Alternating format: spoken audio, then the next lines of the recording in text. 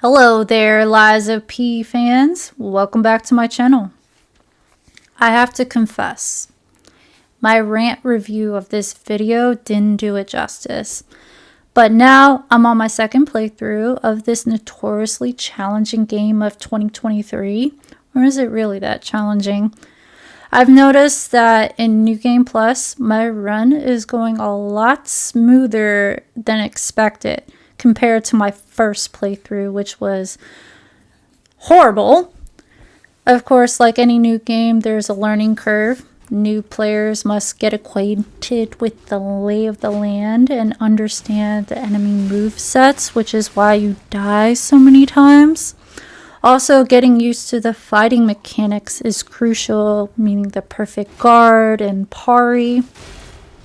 However, I'm still not convinced about the importance of capacity.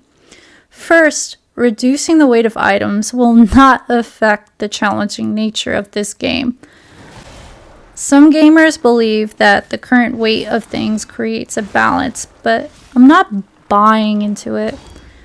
Besides, challenging oneself has nothing to do with capacity.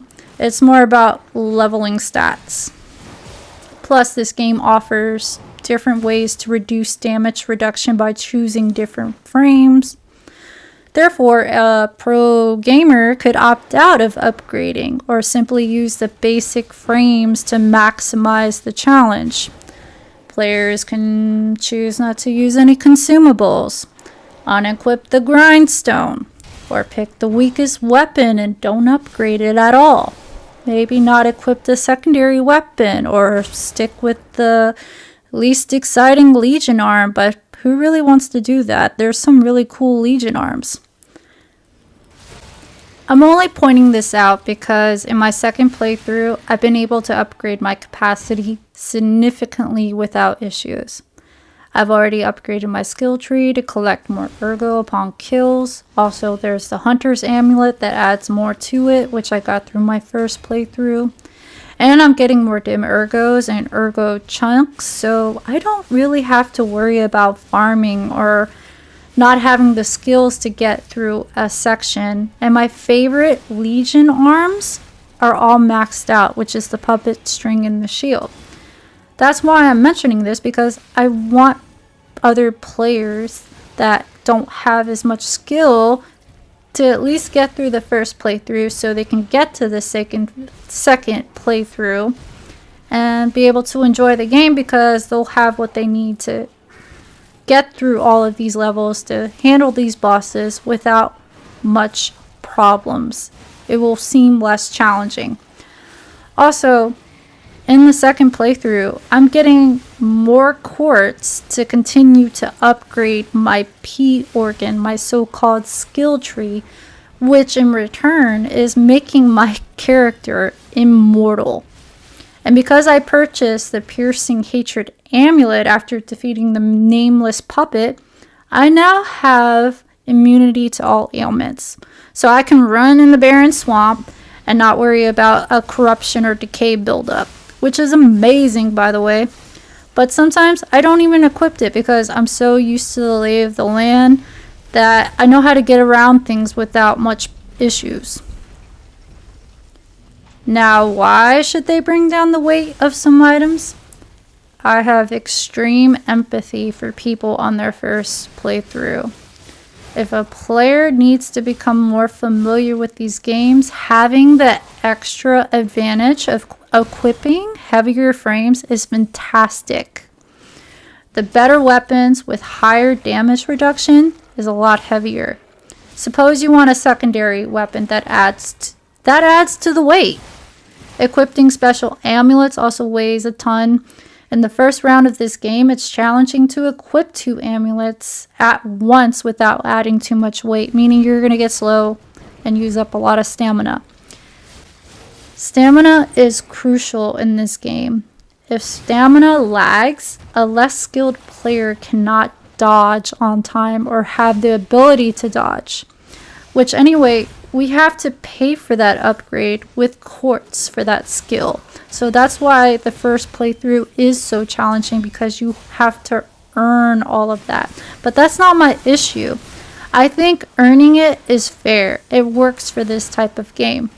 Of course, there's the amulet that recovers stamina quicker, but still, how is reducing the weight of things affecting your gameplay or how challenging it is?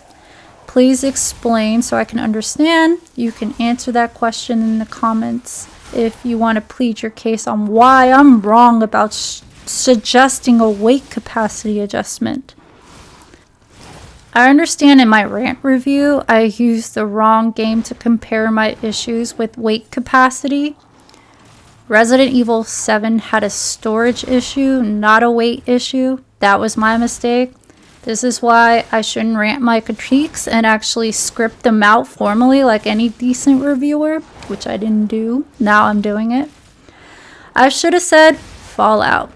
So as you know, my favorite one is New Vegas. For those who don't know about this game, if you stock up too much, your character can no longer run and is reduced to a slug like walk.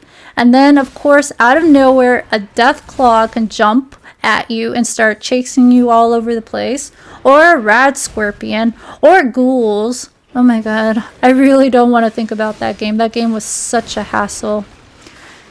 I understand people want to keep the current weight in the game and don't mess with it, which is fine if you disagree with me. But I wouldn't be doing my due diligence if I didn't mention it coming from a non skilled player standpoint. So, and I want other players to enter this Souls like game world and enjoy the insanity of it because I'm definitely now insane right after Bloodborne. I even have admitted in a comment that Lies of P, just to warn, this is only my opinion based on my experience. This game outbeats Bloodborne. Bloodborne may have been my entry into this Souls like world, but I have never encountered a game where I feel compelled to complete the trophy list. So, of course, I want them to make minor tweaks, which capacity is barely anything in terms of how challenging this game is. And I don't think it makes a difference whatsoever. I think people are afraid the game will become too easy. That's why I mentioned at the beginning of this video that if a challenge is needed, don't level up. Maybe not use a weapon at all. Don't attack. Use the weakest frame. And don't upgrade your weapon immediately and then upgrade if things become too much. Well, this is my persuasive argument on the matter. I'm basically arguing for something silly as a capacity tweak because I want new gamers to enjoy themselves and not worry so much about being a rolling sludge in a fight. Besides, phase 5 of the P organ, they can upgrade to add a second Legion arm and interchange them based on the enemies. So during a run, they can change without being at the Stargazer, which is a plus plus if that Legion arm can help defeat a particular enemy. They can add more throwables on their belt or another belt slot through the P organ upgrade, which can help any new player. I posted my video on the battle with the Bad Bunny Gang. That's what I'm calling them now. I don't even remember their original name. And I used mostly throwables on them. Even in the fight with the nameless puppet, I emptied my inventory on that thing to win. They can equip more than one special amulet if needed. They can even have heavier frames that can help with damage resistance. I understand all of that. You want to be more buffed to handle a hit, okay? And with all of that available to them, who knows? Maybe they'll play the game again after their first playthrough and realize it gets easier and not just uninstall it, which I've seen people do that even with Bloodborne. But most of all, they can finish the game to enjoy the story and maybe feel compelled to unlock the different endings and maybe complete the trophy list, which I'm doing that by the way. I understand this will not convince the masses, but I'm putting the thought out there into the media universe to see if someone will listen. But either way, thank you for all the likes and subscribes and for all the supportive yet interesting comments. Now, I bid you a good morning, a good afternoon, and a good evening. And thank you for watching.